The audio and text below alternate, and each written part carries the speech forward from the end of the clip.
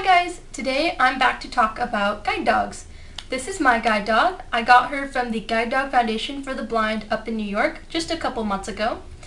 So this video is going to be me talking about a few different criteria I think you should consider that are kind of big yeses or nos about whether or not you should get a dog. And then I'm going to talk a little bit about my experience getting her um, and what it's been like so far. This video is going to be the first video in a playlist of other videos that I used when making my decision to get a dog. Getting a guide dog is a huge investment of yourself, and it's also a huge change to your life, so it's really important that you get a lot of information about it. So hopefully this playlist will help you get kind of the full scope of what it's like to have a guide dog. The playlist will include things like what it's like to have the dog, the pros and the cons of having the dog, um, where the dog comes from, how they're raised, different things like that. So you can kind of get a pretty full, big picture about what it's like. One of the biggest criteria you should consider in getting a dog is finances. Most schools will provide their dogs to blind people for free, and most schools will also pay for any transportation and travel costs associated with getting your dog. A lot of them will also help you with vet care, um, maybe other kinds of care for your dog like supplies and food, especially if you can show that you have financial need. But still, are you going to be able to pay a vet bill in the last minute when something happens and it costs $2,000? Just remember that these dogs are incredibly hardy. Um, they've been bred and taken care of to be very healthy dogs. So the anticipation is that they're not going to cost you too much, but they might, and they will come associated with certain costs. So are you in a place where you can afford to give up a little bit of your money for your dog? Especially without causing yourself too much undue stress. The second thing, do you even like dogs? When you get a guide dog, you have this fantastic new mobility tool, but you get a lot of dog with it. Your dog is with you all the time. When they're working, they're still a dog, and sometimes they still do dog things. When you're at home and they're not working, they're just like any other dog. They're a dog that won't chew on things, they won't bark incessantly, they won't bite people, but they're still a dog. They still want to play with you. They'll still slobber all over you um, and things like that. So if you really hate dogs but you think a guide dog could help you, I highly recommend go to your friend's house and play with their dog or go to a shelter, get to know a few dogs first. When I was in training, I remember telling myself, wow, it's a good thing I like dogs because you just start to drown in dogs once you get one. Another big thing is consider the public interaction changes you're going to have. When you're out and about uh, with your dog, and this really depends on where you are, but you risk getting a lot of attention. On my college campus, I tend to get a lot of gasps and a lot of comments. A lot of people ask me if they can pet her. Um, sometimes people try to distract her and do different things. So are you someone who can kind of deal with all of that extra everywhere you go? I'll tell you something. You don't have to be a special kind of person to put up with it. But if you really can't stand when people are always talking to you, or maybe that makes you a little bit nervous, just think about it. Imagine in your head maybe how it would go. Um, just so that when you end up with your dog, you're not too nervous about it. The thing with the public interaction is something that I think anyone can deal with, so I don't want that to be something that scares you, but I think it's helpful to be prepared with that. Another big thing is time. When you get your dog, you're likely going to have to give up two weeks to four weeks of your life. And that's not even mentioning what it takes once you get home. And I'll tell you something about training. I went to a two-week, pretty intense training session at GDF, and there was no time to do anything else. So don't imagine yourself going to training and doing work on the side or maintaining whatever schoolwork you have. It's going to be really hard. But at the same time, if you're thinking that you can kind of mitigate that, perhaps go to a longer training program like a three or four week one where the training isn't quite so intense, where you might have extra time to be able to keep up on your work. But of course, this means that you'll be away from home for a little bit longer. Once you get home, things will not be automatic. You do not go home with a robot. You have been given the tools, you have been given the dog, and now it's your responsibility to go forward. In my experience, I've only had my dog for two months, but the first month was definitely a lot of work. Going places took more time, it took a lot of energy. My dog was trying to test me and I had to be really diligent about every time she did something wrong, I had to correct her, I had to stop and correct her. Um, so it's definitely a little bit of a time suck sometimes. I'd say that on any given day it takes me about an hour and a half to two hours to take care of my dog. That's including four to six break times a day where she can relieve herself, which maybe take 10 to 15 minutes each. And then I feed her twice a day, which doesn't take too much time. I usually brush her teeth and brush her every day, which probably collectively takes me about half an hour. Um, and then there's just the time that she needs my attention. She wants to play a little bit, or she wants me to pet her. She's a dog, and she's a living thing, and she definitely deserves a little bit of my time outside of just keeping her alive. So, are you in a place where you can afford to spend a little bit of time like that? I consider myself a pretty busy full-time college student, but I manage to work everything I need to do for her into my schedule. So I'm thinking that for most people, it is definitely possible to work in a dog into your life, but it definitely does take some investment of your time and your energy every day. So just remember that. Now, here are some of the things that I think are the pros and cons of having the dog. So I'm going to also talk about what people in general say, but maybe things that I don't personally feel. So a big pro is of course the mobility, and that's the whole point of getting a dog.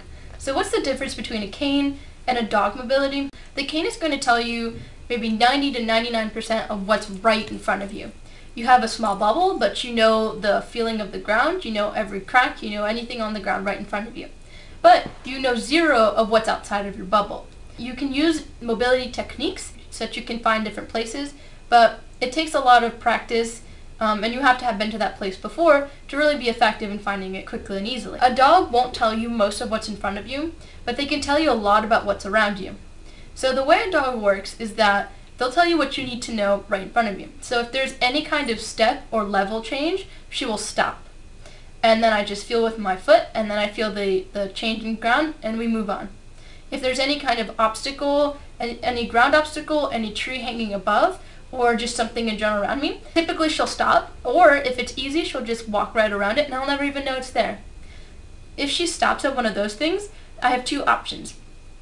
I can feel it and just try to get us around it, or I can simply tell her to find the way and she will get us out of there wherever we are. For my friends in training who are completely blind, their experience was different from mine because I'm partially sighted.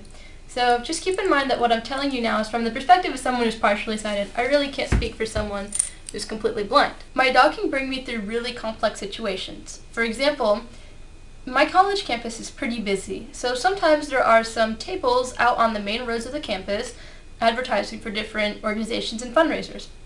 For me, this can make it really hard to get through those because there's a lot of people, chairs, tent poles, and things like that in my way. But my dog can really smoothly and easily get me through all those things. And it's definitely really helpful and much more efficient and also less stressful to just kind of turn my brain off and just follow my dog and she always gets me where I need to go. Again, these things take time. When my dog comes home with me, I know exactly where I need to go, but she has no idea. And so it's definitely taken some time for her to get used to it. But now more and more she is getting used to it. Another thing that my dog can do for me is get me around moving obstacles, which is mostly people. So my college campus, like I said, is very busy, but when people are coming at us from all different directions, she can pretty efficiently get us through all those people, and I don't really have to think about it. It's not as much mental effort as it used to be when I was just using my cane. Another great thing about my dog is that she can find things for me. When she came from training, she knew how to find elevators, escalators, doors, and stairs. She also knew how to find new things for me. So, for example, I taught her to find my room during training. So, you can always teach your dog to find new things. For example, I have already taught her to find trash cans for me, and I'm working on uh, I'm working on teaching her to find me drinking fountains. As I'm partially sighted, I've often relied on my sight to see things on top of my cane. I just had a hard time relying on my cane because I walk really fast and my cane tends to uh, miss things. But with my dog, I've been able to trust her because I know that she sees everything. Even though my dog's not perfect, she's never messed up her guide work. She's never missed a step or ran me into something. And if she ran me into something, it was maybe a tree branch that ba barely grazed me. So I know I can totally trust her. So I've been able to walk with my head up, with my shoulders up, with a lot more confidence than before. And I definitely think this is a huge difference from my cane. Now, what are some of the cons of having a dog?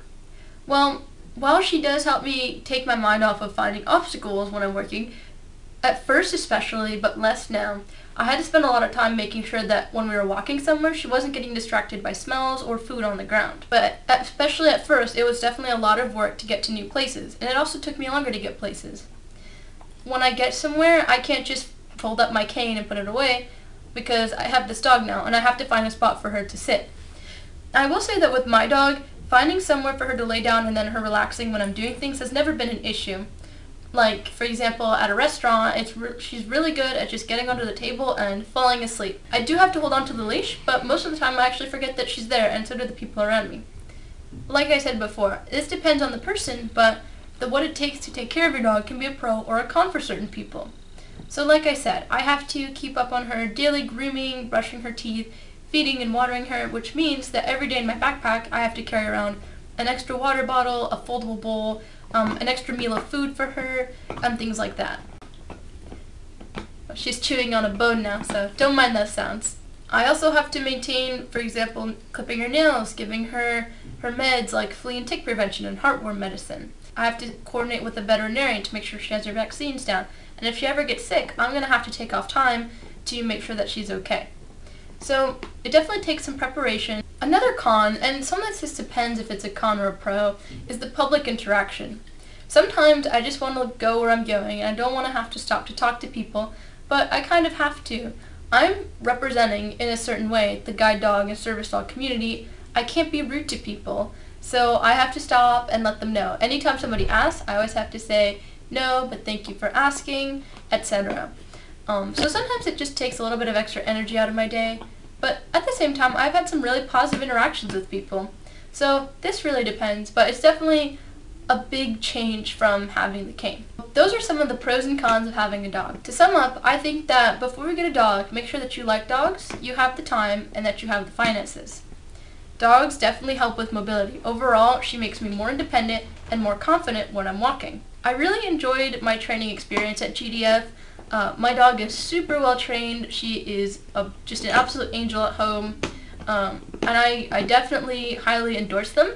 I'm hoping to in the future make some other videos about all the different parts that go with having a guide dog. So for example, the equipment, training process, application process, and things like that. But for now, I hope this video has helped you make the decision of whether or not a guide dog is right for you. If you have any questions or comments, don't hesitate to email me at easiervision at gmail.com or just post it in the comments down below, and I will see you guys next time.